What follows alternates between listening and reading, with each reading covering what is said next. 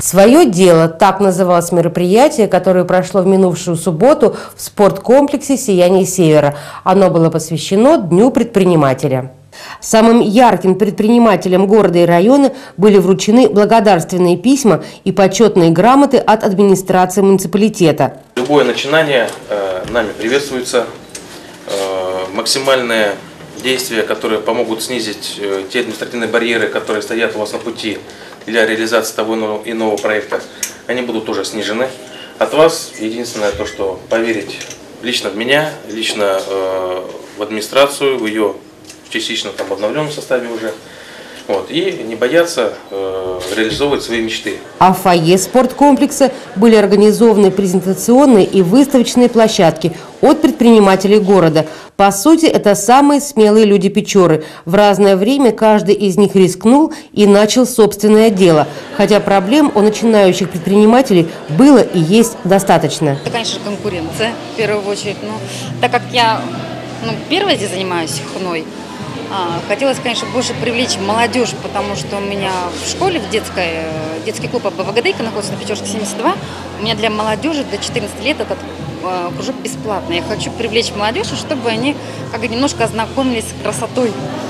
Потому что у нас красоты в Печоре как бы маловато для детей, э, кружков мало, а у нас как бы и визаж для детей, ну, учу от 11 до 14 лет.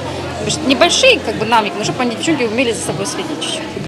Здесь такой бизнес, он э, сегодня есть, завтра нету клиентуры. Говорится, не купи, продай, а своими руками творчество вот это вот э, делать. Трудоемкий, долго времени занимает, а оплата этого труда не столь высока. И вот чтобы и аренду доступную, чтобы можно было выкарабкаться с этого сложновато было найти, но нашли. Как э, предприниматель я года, наверное, полтора.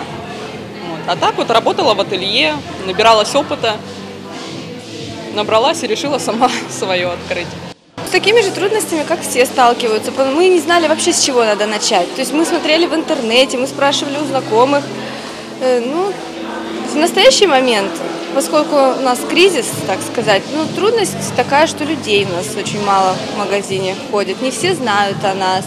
Ну, мы стараемся исправить это рекламой, какими-нибудь акциями, конкурсами. В нашем магазине всегда проходят какие-либо акции, скидки, конкурсы, распродажи. Всегда мы что-то делаем для покупателей, для клиентов. А вы знаете, даже со всеми трудностями мне, мне проще, когда я сама вижу путь реализации этого и сама прислушиваюсь к себе, делаю так, как я считаю нужным. То есть не кто-то мне говорит, когда работаешь у руководителя, да, мне очень часто раньше я расходилась во мнении. То есть мне казалось, что надо сделать так, руководитель считает, что надо сделать по-другому. Здесь я делаю так, как я считаю нужным.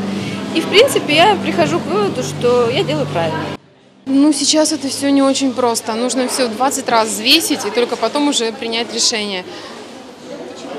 Почему? Ну, сейчас с точки зрения финансов вот идет сложный период, кризис, повышение цен, и вот из-за этого немножечко будет сложновато. А так, если есть желание, если хочется, если человек чувствует, что есть возможность, ну, у человека потенциал, то я думаю, что все получится.